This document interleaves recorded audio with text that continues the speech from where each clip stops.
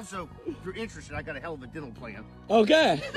you do it all. You do it all. Move over, Donald Trump. Apple executive Tony Blevins is here to take your spot. In a recently viral video, Tony decided to tell us how he spends his life with some pretty choice words. Looks like his life might be taking quite a turn now that he has resigned from Apple due to this video going viral.